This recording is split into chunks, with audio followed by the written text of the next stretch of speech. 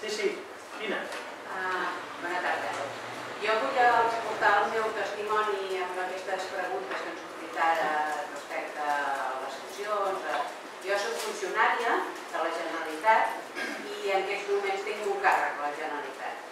Aleshores, eh, jo soc molt conscient de que eh, des del meu lloc, amb aquest procés, doncs eh, assumeixo un cert risc. Nivell de risc?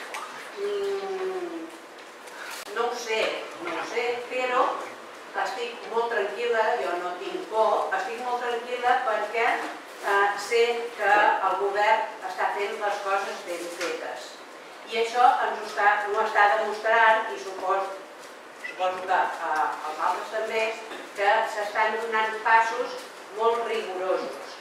Aleshores, hi ha moltes coses que mm, nosaltres fins i tot funcionaris no sabem encara de com anirà, però s'està actuant amb prudència i tot això ens dona una tranquil·litat i és la visió que jo en tinc i és la que estic veient al meu voltant.